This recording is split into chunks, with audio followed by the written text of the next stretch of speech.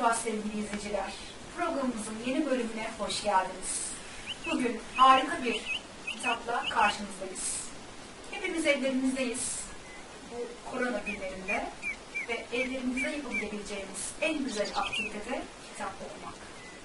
İşte bu süreçte programımız sizlerle. Bilgelik dolu bu muhteşem kitaplar sayesinde kendinizi çok iyi hissedeceksiniz Moral ve motivasyonunuz artacak. Ben de bu kitapları defalarca okudum. Bu süreçte de okumaya devam ediyorum. Kendime çok iyi geldi. Sizlere de iyi gelebileceğini düşündüğüm için bu kitaplardan bölümler okumaya devam ediyorum. Şimdi dilerseniz farklı bir mekana geçelim ve kitabımızı okumaya başlayalım. Kitapları 70'in üzerinde dile çevrilen 69 eserin dünyaca ünlü yazarı Akif Manaf'ın kitaplarından bugün sizlere Varoluşsal Bilgelik serisi Hain Psikolojisi kitabını okuyacağız.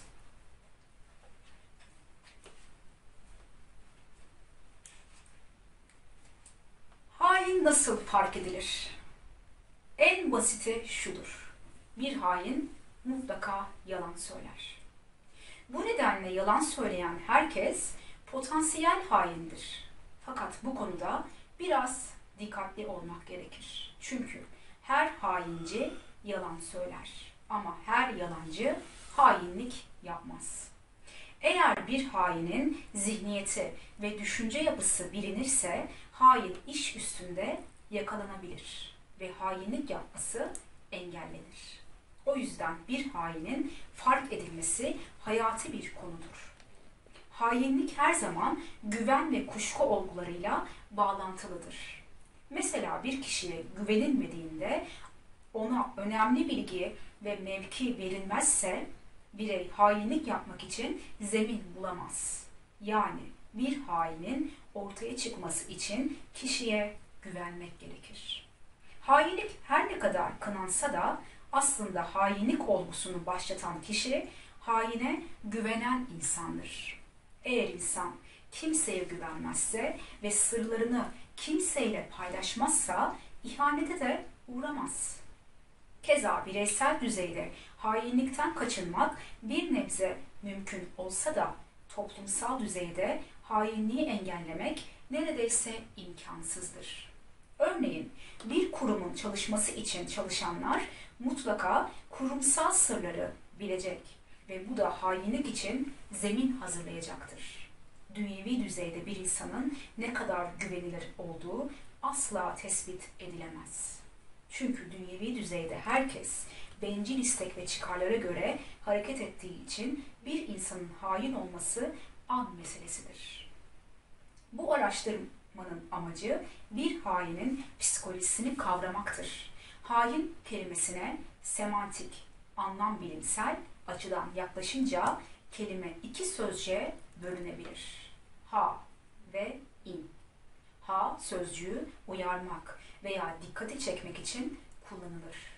İn sözcüğü ise bir yaban hayvanının kendine yuva edindiği yer demektir. Hain çapası. Böylece hain kelimesi bir yaban hayvanının yuvalanması ile ilgili uyarıdır. Çünkü hainin yaban hayvanından farkı yoktur ve yaban hayvanının yuvalandığı yer bulununca herkesi bu konuda uyarmak gerekir. Çünkü yaban hayvanı yuvasına yaklaşana zarar verebilir. Tıpkı bunun gibi haine yaklaşan herkes de mutlaka zarar görür. Hain ile geçici bir temas bile zararlıdır. Çünkü hain ölümcül zehir taşımaktadır. Bu zehrin öteki adı hainliktir.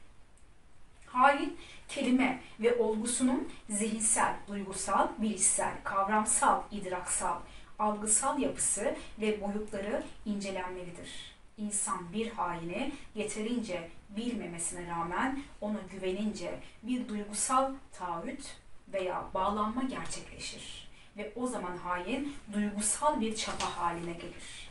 Yani bir haine güvenmek ona demirlenmek demektir. Ve o zaman er ya da geç potansiyel hain bir hainlik yapacaktır. Bir hain sizin ona demirlendiğinizi hissettiğinde önce sizi manipüle etmeye çalışır. Sonra yalanlar söyler, daha sonra gözdağı verir. Sonra da tehdit eder ve bundan sonra saldırır.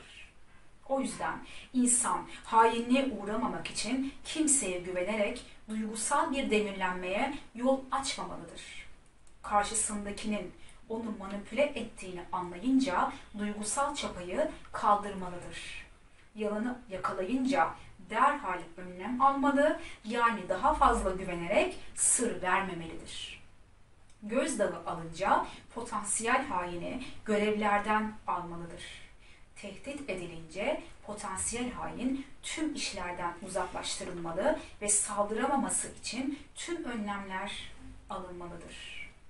Hain psikozu bir insan potansiyel haine güvenmesine rağmen potansiyel hain bu insana güvenmez. Çünkü onu manipüle etmek için gizli planları vardır.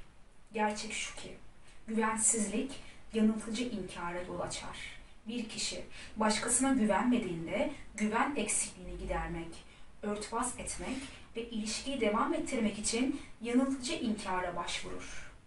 Yanıltıcı inkar tam da yalan söylemek değildir. Sadece gerçeği inkar ederek yalanı örtbas etmektir. Potansiyel hain karşı tarafın güvenini sarsmamak için ona direkt yalan söylemez. Sadece yanıltıcı inkarlarla durumu idare etmeye çalışır. Yalan söyleme sürecinin başlangıcında yanıltıcı inkar meydana gelir. Önce potansiyel hain bir şeyi gözlemler veya tecrübe eder ve bunun gerçek olduğunu kavrar. Bu olgunun gerçek olduğuna dair bilişsel bir kanıya varır ve gerçeği bilir. Ama sonra potansiyel hain karşı tarafı güvenmediği için kıskançlık, korku, nefret veya hayal kırıklığı yüzünden gerçeği çarpıtmaya karar verir. Yani potansiyel hain gerçek olduğunu bildiği şeye düş kırıklığı korkusuyla güvenmez ve gitgide bir yalancıya dönüşür.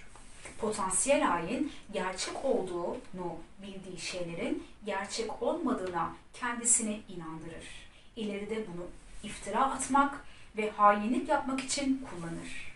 Bu bir tür kendini kandırmadır ve istisnasız her hain tarafından kullanılır. Hainlik yapmak için istisnasız her hain kendini kandırmalı ve gerçek olan şeylerin gerçek olmadığına dair kendini inandırmalıdır.